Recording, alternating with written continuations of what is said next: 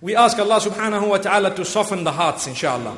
So as you have the ship moving across in order to benefit from the ocean, the same applies to us. If we'd like to benefit from one another, we need to abstain from cleansing our linen in public.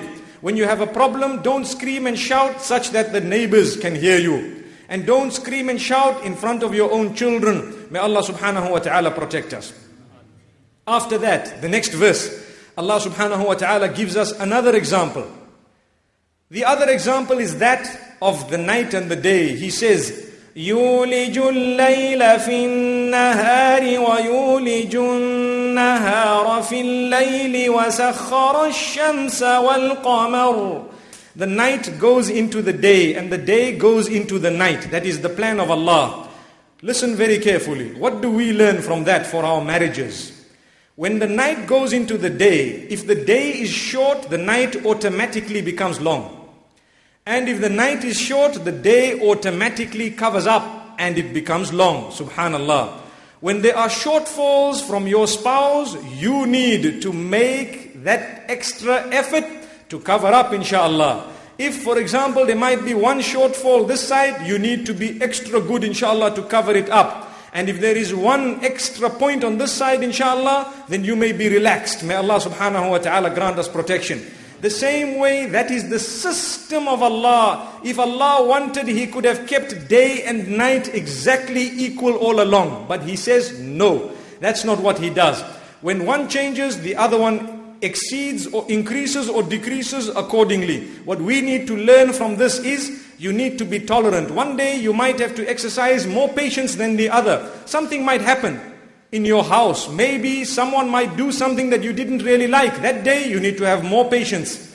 And another day when you do something that requires their patience, they also need to be patient and forgiving inshallah. So there is a give and take in marriage. Subhana al-A'la. And look at how the night and the day never ever fail because that is the plan of the Creator. Subhana Rabbi al-A'la. They listen and obey to the, the instructions of Allah subhanahu wa ta'ala. If we are to listen and obey, do you think something will go wrong? May Allah subhanahu wa ta'ala grant us all protection from shaitan and protection from the devil. So these are some of the examples Allah subhanahu wa ta'ala has given us in Surah Fatir. Amazing. Let us now move to another surah. Surah Yusuf, where Allah subhanahu wa ta'ala also speaks of a different example altogether. Remember, when the examples are given in the Quran, they are the examples of the Creator Himself, Allah subhanahu wa ta'ala. There can be no mistake or no error when it comes to the plans or the examples, sorry, of Allah subhanahu wa ta'ala. No mistake. So Allah subhanahu wa ta'ala speaks of a dream in Yusuf alayhi salatu salam's surah, the surah where it, his story is mentioned. And Allah subhanahu wa ta'ala says that Yusuf alayhi salam told his father, إني رأيت أحد عشر كوكبا والشمس والقمر رأيتهم لي ساجدين Oh my father, I have seen the sun and the moon and the eleven stars prostrate to me in a dream. And his father told him, Oh my son, don't tell your dream to others lest they are jealous. So just leave it. Anyway, a long story short, right at the end of that surah, Allah subhanahu wa ta'ala says that the translation of the dream was made clear. What was the translation of the dream? The sun that was in the dream was depicting the father, Yusuf alayhi salam's father, Yaqub, Jacob, may peace be upon him. So the sun was depicting the father. The moon was depicting the mother. And the stars were depicting the children or the brothers of Yusuf alayhi salatu wasalam, the children of those parents. Now, if we take a look at that example and we analyze it, it is a biblical example. It has no errors in it. It is flawless. The relation between the sun, the moon, and the stars is exactly similar to that of the mother, father, and children of any successful home. Subhanallah. Now let's go into that. The sun, the qualities of the sun are those qualities which are meant to be found in the father of any successful house. So the sun is very strong, mashallah, very powerful in the home, alhamdulillah.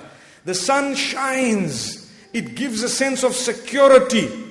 When the sun is out, mashallah, that is when you find the plants will photosynthesize. There is growth, there is blossoming, there is blooming whilst the sun is out. When the sun is out, the stars are there, but you will not notice the stars because you cannot look at the sun directly with your naked eye. Doesn't that depict some form of respect between the parent, between the father in particular, and the children? Not to say that you cannot look him in the eye, but to say that he commands a greater respect in the house. That is the role. He is the breadwinner. Is that not supposed to be correct? In our homes, it is supposed to be the case. May Allah subhanahu wa ta'ala help us rectify that, inshallah.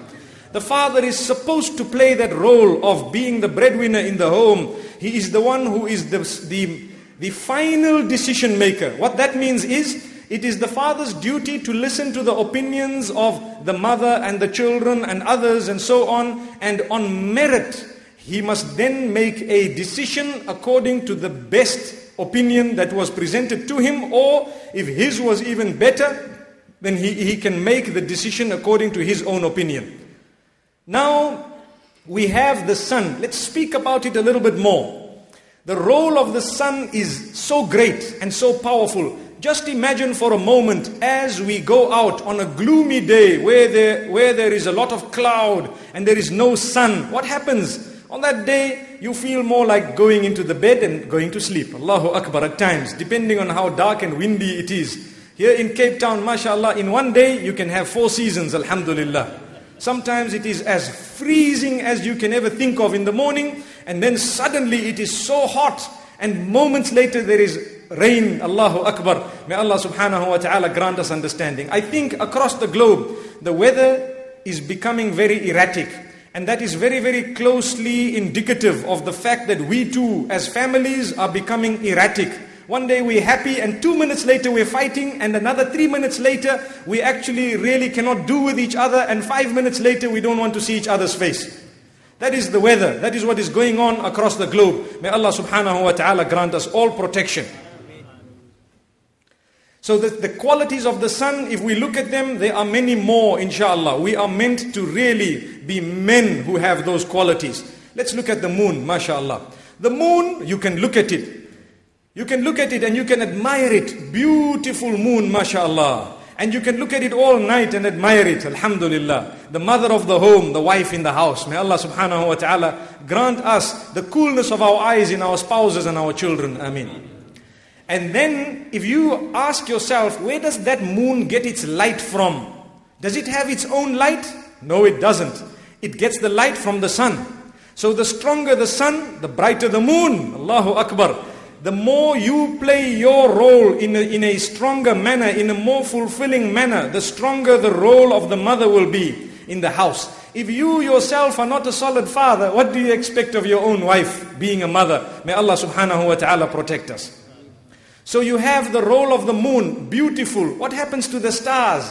When the moon is out, you find the stars are twinkling, mashallah. They are twinkling up in the sky, and you can see them different sizes and shapes and colors, mashallah. This should be depicting the close relation between the mother and the children, mashallah. Because when the mother is around, alhamdulillah, the children are so close. And they are so close that they can actually say whatever they feel with respect, obviously. But at the same time, they are there. Not to say that the children don't have a relation with their father. They are there. When the sun is out, the stars are still there. But the significance of the sun is so great that the little stars are not noticed. Allahu Akbar. So when the father comes in the house, he needs to be a role model for his children. That is what we learn. Subhanallah. If the father is not going to be a role model, then what will you have? You will start seeing stars during the daylight. Allahu Akbar. May Allah subhanahu wa ta'ala protect us all. Let's take a look at the moon. MashaAllah. The moon has a lot of peace in it, a lot of tranquility, calm. There is silence. People are sleeping. They are feeling relaxed at that time. These are the qualities that a mother in the home is supposed to be having when it comes to her own children. You take a crying baby. Mostly that crying little baby, the minute the mother takes hold of the child, it will probably go to sleep. The comfort of the arms of the mother is equivalent to none other than the same mother. May Allah subhanahu wa ta'ala grant us understanding.